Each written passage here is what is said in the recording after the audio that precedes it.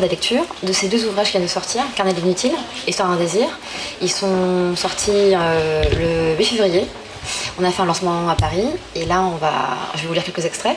Impression de Pékin, c'est un livre que j'ai écrit en 2012, qui est paru en 2014 chez les et a été traduit au chinois en 2017 en mandarin. Je préférais d'abord vous lire l'avant-propos parce que c'est très intéressant. Enfin, pour moi c'est important de vous resituer pourquoi j'ai écrit ce, ce livre.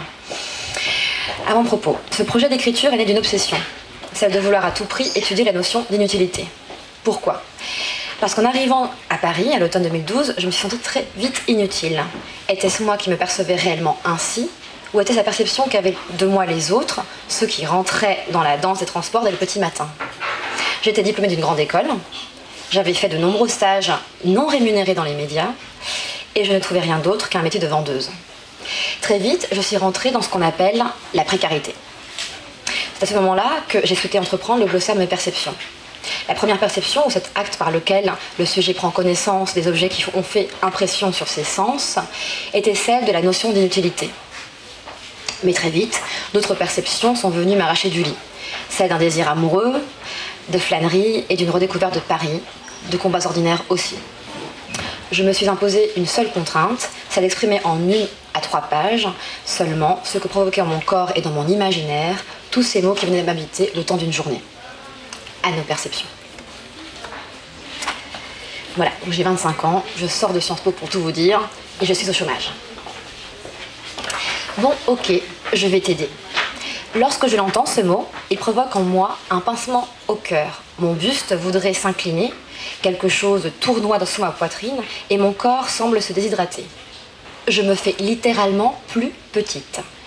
Il y a ce mélange d'agacement, de nonchalance, cette pointe de prétention, un début de domination dans sa voix. Rétrécie jusqu'à l'os, je prête l'oreille, je ne respire plus. Je dois être là entièrement, prendre cette chance qui m'est concédée avec charité sans grâce, mérité par cette posture-ci, ce don d'une aide. Mais ça veut dire quoi, aider? Est-ce un élan spontané, de moi vers toi, ou de toi vers moi? Autre appel que ma sensibilité, l'attention que je te porte, la finesse du regard, cette perception, cette perception mienne de tes difficultés Est-ce lire justement et agir instinctivement? Est-ce chercher ton bien-être et notre solidarité? Est-ce t'aider pour m'aider M'aider pour t'aider? Et est-ce un don? Si je t'aide, est-ce que je me dépossède de quelque énergie vitale? Si tu m'aides, perds-tu ton temps? Pourquoi? Bon, ok, je vais t'aider. N'est pas source de joie, de libération. Qu'on me vienne en secours ne devrait-il pas me rendre légère et heureuse? Pourquoi pèse-t-il ce mot si lourd ces temps-ci? Si lourd qu'on ne le dit plus trop, pas assez. Moi, j'aimerais entendre je vais t'aider, ou alors viens que je t'aide. J'aimerais que ces mots me communiquent un élan de vie. Les entendre pourrait mobiliser en moi les troupes qui me manquaient jusqu'alors pour vaincre ces difficultés. À l'entendre ce mot, je devrais être capable non pas de rétrécir, mais de m'épanouir. Robuste, mon corps et mon intellect seraient prêts pour toute bataille. Il t'aiderait à me secourir. Il y a intention, volonté et action réciproque dans cette aide que tu penses me porter. Là, je vais vous raconter quelque chose sur les pieds. Je n'ai jamais dû penser à mes pieds. Des douleurs, j'en ai eu. Chaussures trop petites, chaussures trop grandes, un bout de verre qui traînait sur le sable, quelques verrues qui viennent s'y installer. Mais au final, bien que cela ne soit pas très, agréable, je n'ai jamais pris conscience de la valeur de mes pieds. Je ne me suis pas rendu compte du handicap que suppose une souffrance des pieds. Et je pense bien sûr à toutes sortes de métiers ingrats dans des conditions qu'on ne souhaite pas imaginer, mais je pense aussi et surtout, car j'en ai expérience, à la souffrance quotidienne de vos chères vendeuses. Une vendeuse, dès qu'elle travaille dans une boutique où la clientèle dépasse d'un poil la classe moyenne, doit porter de petits talons. La douleur première est celle du dos. Je sens que je ne suis pas vraiment droite, qu'il me faut compenser par un stratagème périlleux le déséquilibre et la courbure que provoque le port de ces talons. Mais c'est surtout l'interdiction de s'asseoir qui comprime mes pieds impuissants. Mes collègues, loin d'être des camarades dans ce management paternaliste de performance, de classement et de culpabilisation pour une minute de retard le matin, me répètent à longueur de journée bah, C'est les premiers jours, après ça passera, tu verras. Je les crois. Je me sens forte, je résiste, je profite de mes 45 minutes de pause au déjeuner pour apaiser la douleur de mes pieds. Mais au bout de, de plusieurs semaines, la douleur ne fait qu'augmenter. Je me réveille la nuit parce que quelqu'un crie à l'intérieur de ma voûte plantaire. Quelqu'un s'affole et se révolte. Mes pieds sont les derniers à quitter la maison quand je vais travailler. Je me sens déphasée, informe, mon corps a subi certaines transformations que je n'acquiesce pas. Lorsque je vais à la piscine, je passe une heure au rebord et je pose mes pieds sur les deux petits trous au sol d'où sort l'eau à petits jets. J'ai l'impression de les anesthésier à l'opium. Mes collègues changent de chaussures dans la journée, elles disent avoir l'habitude, mais je sens bien que leur corps est fatigué et désapprouve ce qu'elles lui font subir. L'une va prendre un troisième doliprane, l'autre essaie d'appuyer le bord de ses fesses à la rambarde de l'escalier lorsqu'elle parle avec une cliente. Je sais qu'elle ne pense qu'à s'asseoir, mais nous n'avons pas le droit. Des caméras sont partout, pour les vols qu'on pourrait commettre, et pour vérifier nos agissements. Nous sommes les garantes des valeurs de la maison. L'accueil doit être impeccable. Mais vous, votre vendeuse s'asseyait pendant que vous tourniez pour la vingtième fois devant le miroir avec une nouvelle robe, des chaussures, un sac, qu'en penseriez-vous? La prendriez-vous en grippe? À quel point si important? Mes pieds sont les premiers à quitter mon lieu de travail. Ils m'amènent au métro où tous les wagons sont pleins. Il est 20h30 minutes, tous les vendeurs sont debout, tirés à quatre épingles, certains plus fauchés que d'autres, mais à nous voir, je me dis qu'au fond, et malgré les apparences, on a tous très mauvaise mine. Donc c'est absorption. Engloutissement, ravissement de l'âme en Dieu, action d'absorber, de s'imprégner au sens d'engloutissement de l'âme dans une passion. J'expérimente ces dernières semaines une sensation d'absorption produite par l'acte d'écrire qui annihile la conscience de ma personne physique. Je m'oublie dans, dans mes besoins vitaux, dans une hygiène viable de ma manière de vivre. Je n'ai plus faim, je ne marche plus, je ne me regarde plus, car au final, qu'importe à quoi je ressemble, L'important, c'est ce que je fais. Cependant, dans ce délaissement de ce, qui peut paraître superficiel, je ne, connais plus la notion de temps. Absorbé comme je le suis, je ne considère plus ce qui est à mes côtés, celui que j'aime profondément en chair en os, jusqu'à ma plante grimpante qui se fatigue de survivre. C'est une sensation neuve, je suis happée par euh, l'œil du cyclone de mes projets d'écriture. Dans cette nouvelle configuration de mon être, ils sont devenus ma priorité, ce pourquoi j'existe, ils sont désormais cet absolu pour lequel il me faut travailler dès que je le peux. Parfois, je vire à l'obsession. Dans la nuit, je me surprends à dire à haute voix La locomotive, la locomotive. C'est une histoire pour enfants que j'essaie de raconter. Mais je ne sais pas écrire pour les enfants, je ne sais pas encore écrire pour les enfants. Alors, dans mes rêves, je me convulsionne, cherchant à trouver le style et les détails adéquats d'un récit pour un public jeune. J'ai les yeux qui tirent. Dans cet épuisement, il s'excite encore de lire quelques nouvelles phrases dans cette quête d'un absolu, il y a le délice d'une vie soudainement pleine de sens. Pourquoi dormir alors que demain sera sûrement aussi ravissant qu'aujourd'hui Je ne veux pas attendre, mieux, je veux attendre en faisant. En cet amalgame du temps, j'amène la personne vers l'irraisonnable, car après plusieurs nuits blanches, mon cerveau est à plat, ma sensibilité ombragée et mon corps déprimé. Alors, dans cette incapacité d'écrire à nouveau, je me mets à lire en cette période d'absorption, la lecture provoque en moi, elle aussi, la négligence de la réalité. Je ne veux faire que ça, lire sans m'arrêter. L'arrêt dans la lecture même est envisageable, puisque je me défais du papier pour laisser virevolter quelques images qui m'ont plu. Je les fais vivre dans mon imaginaire. Je ne sais pas combien de temps je vais pouvoir tenir ainsi, mais c'est un enivrement que je ne veux pas abandonner, car dans mon fort intérieur, je goûte enfin à l'exquis. d'un désir. Alors, c'est un peu la même période de précarité parisienne. Donc, j'étais arrivée à Paris en 2012 et je suis partie en 2015. Donc, je vous laisse deviner, c'est bien les 2013-2014. Alors, voici comment commence le recueil. Je ne sais plus ce qu'est devenu la nuit.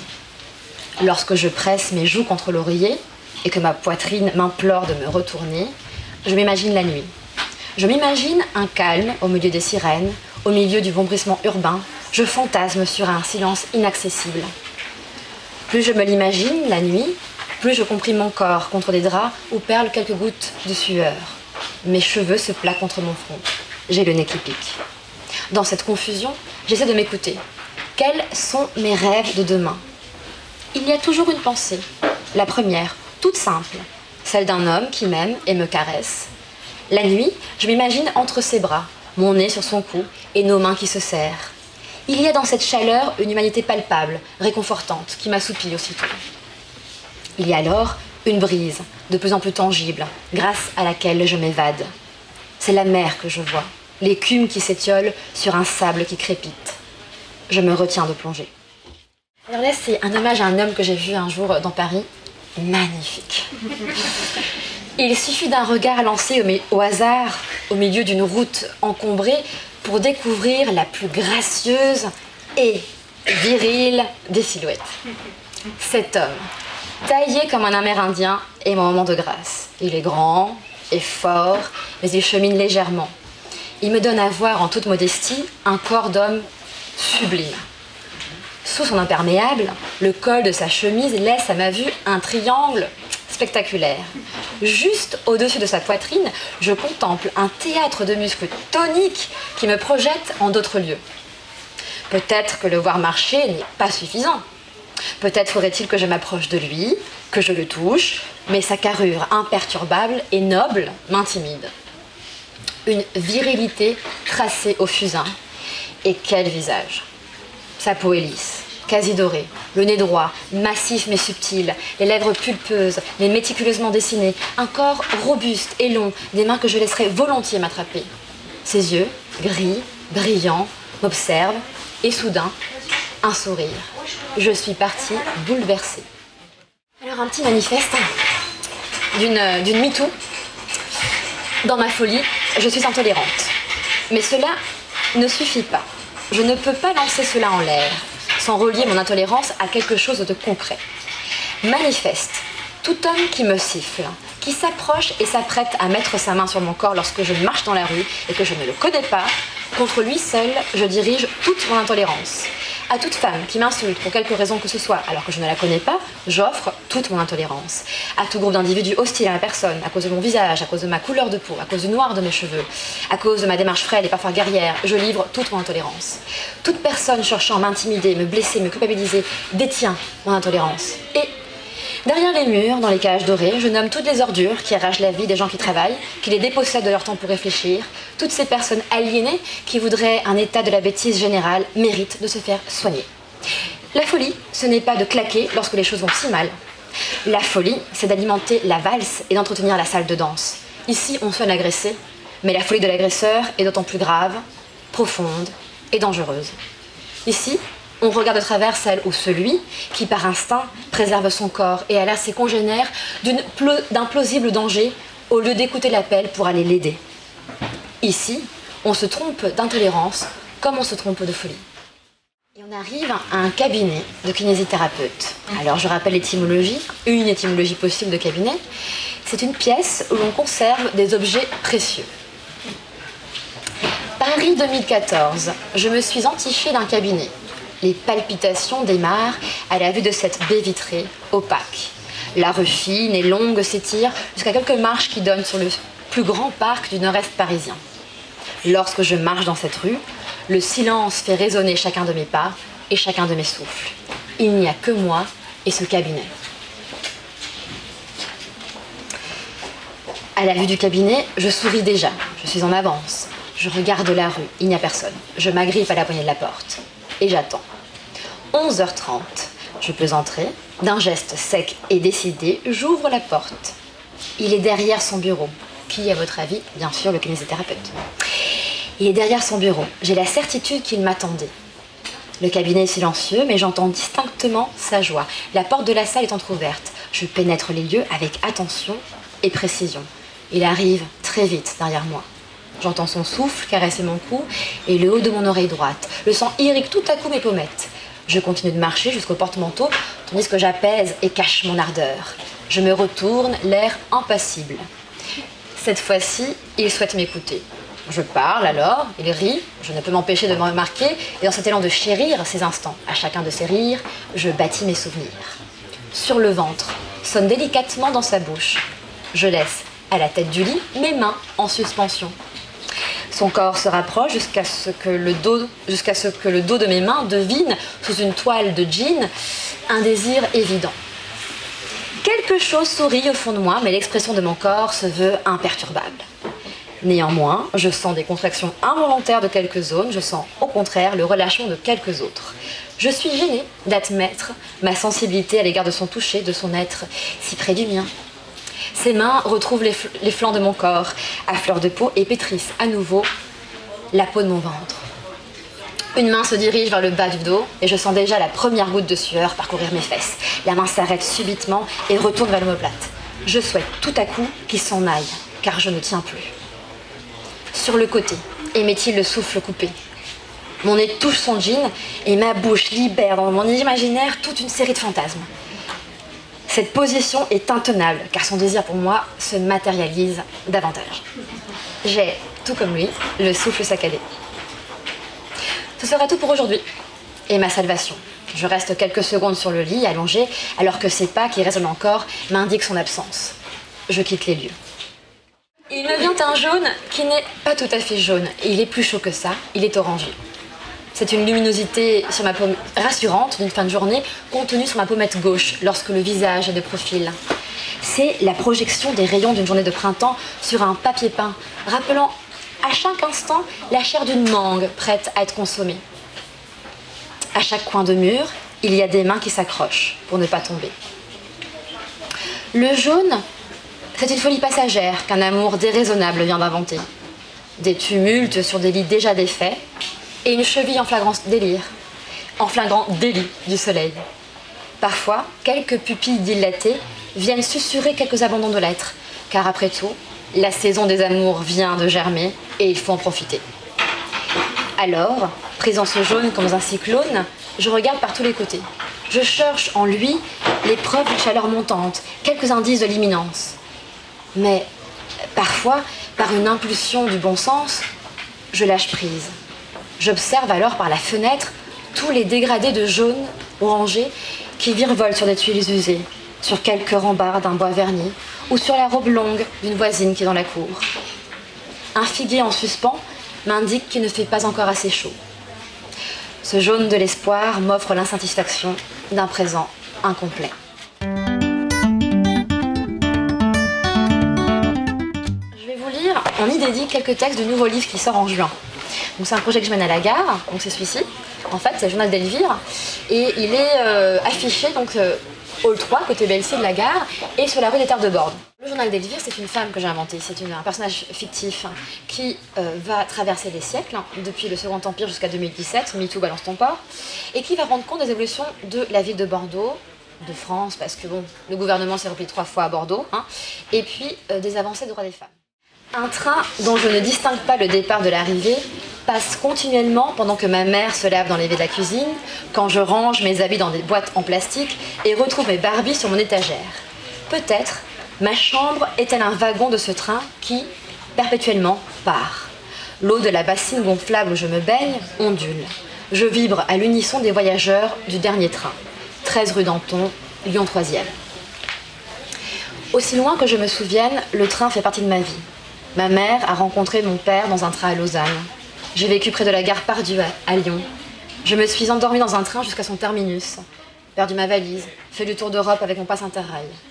Combien de Paris-Bordeaux, de Grenoble-Bordeaux, de Lyon-Bordeaux? J'ai connu Belcy autrement. L'escalier ou la rampe? La voiture est garée dans le parking minute ou sur la bande d'arrêt des taxis, des bus. Le warning clignote, on s'empresse de m'embrasser avant que je ne rejoigne ma voie. Mais c'est aussi, surtout, le retour, direction le Porge, même aux heures tardives de la nuit, une baignade nécessaire avant un sommeil bordelais. J'aime les gares et les aéroports comme haut lieu des possibles. Bordeaux, automne 1914. Je n'ai pas repris la plume depuis la mort de Jean Jaurès cet été. Maintenant que tout le gouvernement est à Bordeaux, je pense irrémédiablement à lui. N'avais-je pas cru au projet de loi pour le droit au suffrage des femmes? J'ai tenu à m'éloigner de la gare Saint-Jean où viennent, partent et reviennent tous les députés consorts. Cette nouvelle gare est tellement efficace, depuis son achèvement en 1998, que la ville en est transfigurée. Les terrasses du centre-ville sont prises d'assaut, les allées tournées sont méconnaissables. J'ai failli me faire renverser plusieurs fois. Le tramway, les bicyclettes, les voitures, c'est la fin du Grand Bi. Un poste TSF est au sommet de la flèche de Saint-Michel. J'ai rencontré des premières femmes inscrites à l'Université de droit de Bordeaux, Manon Cormier. Et retenez bien ce nom, c'est une féministe bordelaise. Manon Cormier, nous avons tellement discuté que l'article paraîtra dans une semaine tant de la matière pour son portrait. Il est indiscutable que Madeleine Pelletier a raison quand elle nous dit qu'on ne naît pas femme mais qu'on le devient, car le milieu social forme le sexe psychologique. Le ministère de la guerre siège à la faculté de lettres, celui de l'instruction publique à la faculté de droit. Marguerite Durand a relancé le journal La Fronde que j'aimais tant, mais dont je déplore maintenant la posture en ces temps de guerre. 45 000 étrangers sont internés dans des camps. Bordeaux, été 1924. 7628 disparus au 18e corps. Mais c'est l'été. Albert Marquet m'accompagne avec sa femme Marcel sur les quais. Quand il se met à peindre, on le quitte avec Marcel pour rejoindre l'été féministe de Manon Cormier. Elle préside la Ligue, française pour les droits des femmes qu'elle a fondée. Nous célébrons en ce moment un enseignement secondaire et un baccalauréat identique pour les hommes et les femmes. Manon Cormier est devenue mon amie la plus chère. Elle n'exerce le métier d'avocat que pour les plus démunis, s'engage corps et âme dans la cause de toutes les femmes. Je ne sais pas si elle viendra la soirée que j'organise à l'hôtel Le Faisan, mais je l'espère vivement. Je suis là de temps de travail et de ma solitude. Nous avons loué à plusieurs quelques chambres en hauteur où nous ferons la fête, hommes et femmes saouls jusqu'au petit matin. N'ayant épousé personne, je ne peux qu'expérimenter encore. On pourrait m'envier le soleil sur cette petite terrasse rue Terre de Borde et cette musique de voyage. Nuit bordelaise. Puisse-t-elle ne jamais s'assécher Couler fine tout le long, cette nuit, dégringolée, du pressoir à la déraison, de la cadence à l'éruption, puisse-t-elle ne jamais s'arrêter J'ai échappé au de peu au bombardement. Je croyais y passer. Je me suis réfugiée dans les couloirs de la gare dès que j'ai entendu les sirènes. Mais c'est surtout le centre-ville, le jardin public et Saint-Michel qui ont été frappés. Le ciel apparemment était d'un rouge maladif place de la Bourse où l'horloge s'est arrêtée à l'heure des explosions. Je n'ai pas eu le temps de croiser Charles de Gaulle, qui s'est envolé pour Londres. J'ai toutefois entendu le message radiodiffusé par Philippe Pétain dans le lycée Longchamp. Depuis le lycée Longchamp. Georges Mandel s'est fait arrêter à ce moment-là, au restaurant Le Chapon Fort. Des réfugiés dorment à l'entrée de la gare, femmes, hommes, enfants, effondrés sur leurs ballots. En même, temps les lycéens passent leur bac comme si de rien n'était. Le consulat du Portugal est pris d'assaut. Aristides de Sousa Mendes délivrerait des visas facilement. Je ne reste pas à Bordeaux, n'ayant aucune confiance en notre maire Adrien Marquet. Je dois monter à Paris voir Manon Cormier. Elle est au ministère du ravitaillement résistante déjà. On sait ce qui nous attend. Un gouvernement misogyne, xénophobe et la guerre. Pour beaucoup, ce sera profil bas. Pour, certains, une collaboration certaine avec les nazis. Mais pour d'autres, ne pouvant faire autrement, étant profondément antifasciste et féministe, nous combattrons. Histoire d'une femme du 21e, qui est mon histoire personnelle, en fait. Le même principe qu'Elvire, mais voilà, en dix textes, je vais raconter ma prise de conscience féministe et mon engagement dans cette lutte féministe. Lyon, hiver 1988. Un an et neuf mois. J'ai deux manies celle de prendre le combiné de téléphone entre l'épaule et l'oreille droite pendant qu'un stylo est coincé entre mes doigts et une feuille en papier. J'écris des lettres rondes et forme des mots inintelligibles. Et puis celle de repasser à peu près tout ce que je trouve avec un faux fer à repasser. D'une part, je suis une secrétaire méticuleuse, très féminine, avec mes boucles de perles à clip sur les oreilles, mon sautoir à perles et mes ballerines dorées, le tout en plastique. J'ai les cheveux courts à la garçonne, je parle, essouffle, m'exaspère, fais répéter. Je prends note de tout. Je range mes papiers et puis les ressors. Je prends mon sac en plastique comme on porterait un sac à main et mon porte-monnaie. Je sors faire quelques courses. D'autre part, je suis une ménagère minutieuse. Je plie et je range par gamme de couleurs les habits repassés dans les placards. Mes nuits sont complètes car satisfaites. Lyon, automne 1993, 6 ans. J'ai passé la journée à me peigner, à chercher la coiffure qui ferait de moi une enfant quelconque. Je ne veux pas être trop chinoise, hein, trop ethnique, ni trop sauvage. Claudine, ma meilleure amie, s'était réfugiée dans le soulevé de la classe quand elle a vu Juliette, notre nouvelle professeure, arriver. Juliette est réunionnaise, d'origine chinoise. Claudine s'est écriée une sauvage en la voyant. J'ai aussi tenté d'ouvrir mes yeux de force pour les agrandir. Et puis, j'ai décidé de porter ma veste en jean rose. Je crois que j'ai presque réussi à ressembler à Hélène dans Hélène et les garçons. Mon père, à la demande de ma mère, je crois, est venu me donner quelques cours de kung fu wushu. Il faut savoir se battre. m'a-t-il dit, et puis mettre toutes les chances de son côté. Alors, dans cette chambre à coucher, où d'un côté je dors sur un lit superposé une place, et de l'autre, sur l'autre lit superposé deux places, dort ma mère, seule le plus souvent, entre ces deux lits, dans cet espace infime mais long, il m'a demandé de faire quelques mouvements, quelques sauts et quelques coups de poing. Il a raison pour une fois. Il ne suffira pas d'être joli ou de s'efforcer à l'être, il va me falloir d'autres atouts. Ma mère m'a inscrite au cours de Kung Fu Wushu de la MJC la plus proche. C'est indéniablement la fin du rose dans ma vie. Beauté. Le corps de l'homme est magnifique, qu'on le préfère sec, ou bien pulpeux, musclé ou légèrement dodu. Peut-on prendre ses fesses avec les deux mains? Peut-on sucer son sexe tout entier? A-t-il des poils rebelles sur le haut du dos, une forêt vierge sous les aisselles et son pubis a-t-il une fin? Ses mains sont-elles robustes ou bien délicates? Quelle longueur ses cheveux? Si chauve est-il soyeux? Sa bouche est-elle fraîche et sa langue assez hydratée? Va-t-il me lécher sans fin jusqu'à la jouissance? Ou va-t-il s'arrêter à court de salive, à court de souffle? Va-t-il cacher sous ses mains mes poils originels ou va-t-il s'y perdre, me boire, extasier Et combien de temps tout cela va-t-il durer? Qu'importe. Il importe d'en profiter à chaque seconde, comme si, inévitablement, elle serait la dernière. Tous ces souvenirs, des briques marron d'une cour bien carrée, aux rambardes froides des balcons, géranium après géranium se crucifie, dévisageant mon âme. Toutes ces bonnes sœurs sur la place, mon corps bâtard, non baptisé qui la traverse. Qui sait ce que je deviendrai? Jasmine sur son tapis volant, Cendrillon et son prince charmant, Jack London sur l'Excelsior.